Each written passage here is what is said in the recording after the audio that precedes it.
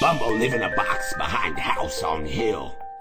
Bumbo have trash, Bumbo have coin, life good. Bumbo happy. That till Bumbo hear voice from above. That nice coin you have there, Bumbo. That on you coin, Bumbo yell, go away from it. Suddenly bad guy come and take coin. Then vanish down hole. Fast, grab trash jump down hole after coin. Monster try and stop Bumbo, but Bumbo smart. Bumbo use trash and fist fight them. Nothing stop Bumbo. Bumbo what? Coin.